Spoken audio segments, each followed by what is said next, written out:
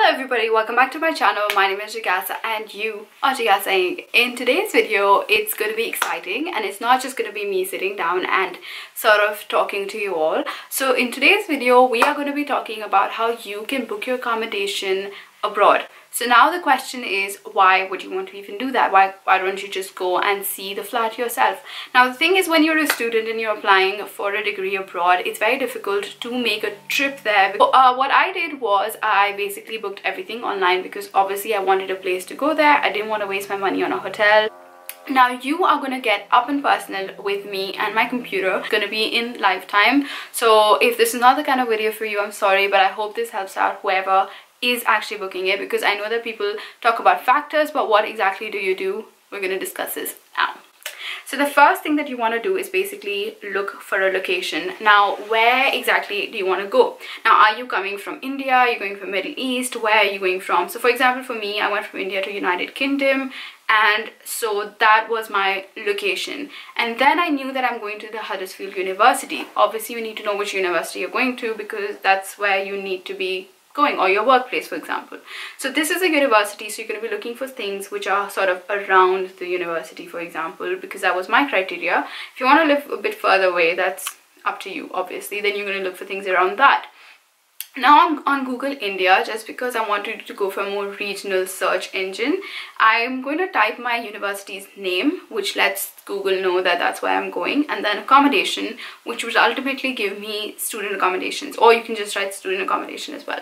So the first three are uh, Unite Students, IQ, Prime and these are all advertised ones so that probably means that they are private.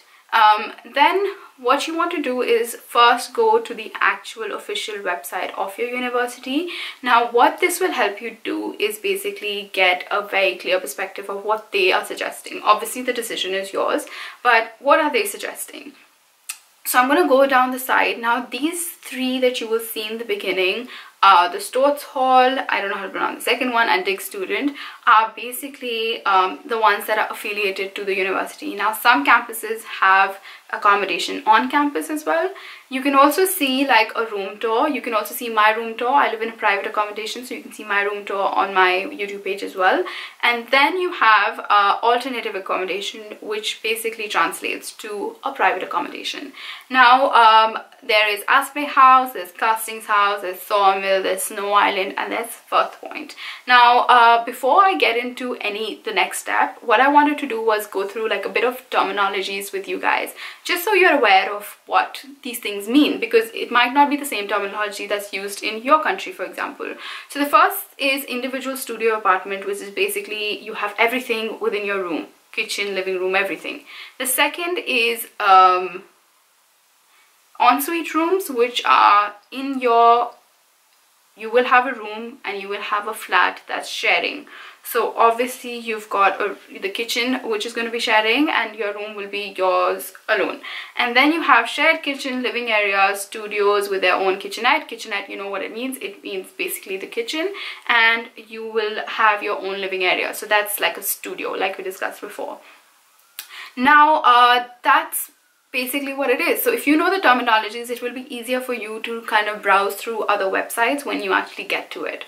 Now, uh, the next step is basically for you to decide, are you going to go for the private or are you going to go for the public?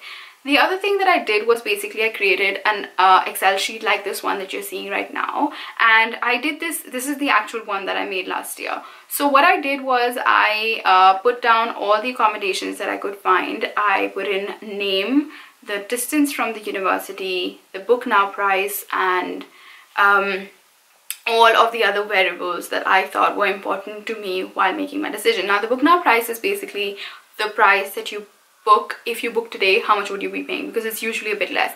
Now the type of bed is obviously something that was important to me could not be important to you so you can skip that.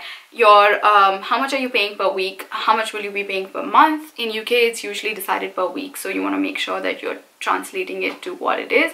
Um, for me having an ensuite bathroom was really important. So I obviously put down what kind of bathroom I was getting, whether my kitchen was sharing or not, whether uh, my utilities were included or not, and you'll see exactly why all of this is so important. This is how you decide your budget. Now, obviously, when I ask you what is your budget, you wouldn't really know because you're going to a new country. So it will tell you like an approximate range and this is when you can decide okay so what am i looking at? Can i afford 75 pounds? Can i afford 200 and this obviously depends upon the city that you're in. So if i was for example going to london my maybe my minimum would be 200 pounds per week and not the maximum. Here sort of the maximum was anywhere between 200 to 250 and so i decided that for me 95 was something i could go with. Um and something that I would be comfortable with. Then I created another sheet alongside my Excel sheet where I wrote down all the things that I want and then I wrote down all the things that are available in the city that I'm going to. So I wrote down that I wanted an ensuite bathroom. Now an ensuite bathroom was available but it was really small. So that was fine by me. I wanted a kitchen inside but with the budget that I was going for, I was either getting a sharing kitchen or I was going to get a walking distance from the university.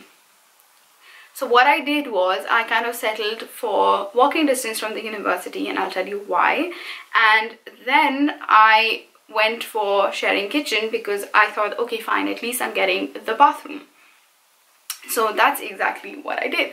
The next thing that uh, we're going to do is the cost calculation in total. Obviously, the cost that you see on the website is not the cost that you pay um, end. So what is the cost of your accommodation per week into four? Because that's you're going to be your monthly so we are kind of calculating per month. You can also calculate in total but per month is easier. And then you're going to add whether your bills are included or not. So you're going to add your bills an approximate cost of your bills for example your heating your water bills uh, and things of that sort. And then you're going to add your Wi-Fi and then you have transportation costs. So now in this would this should give you your total final cost right?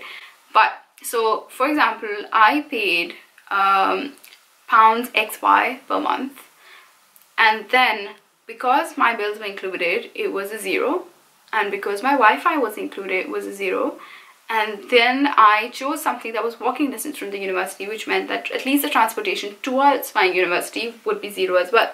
So my final cost remained XY which was really easy for me.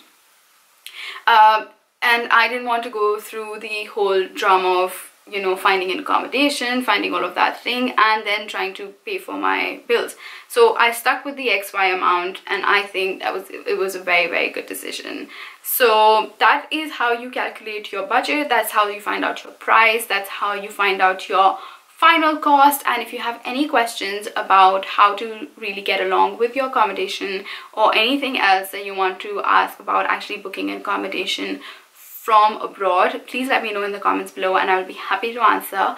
Don't forget to subscribe to my channel because it means a lot to me. And I hope you found this uh, video really resourceful. Please hit the th thumbs up because that matters. And you can follow me on my social media. I do do a lot of lives on Instagram and they're supremely fun. So I'll see you guys later. Bye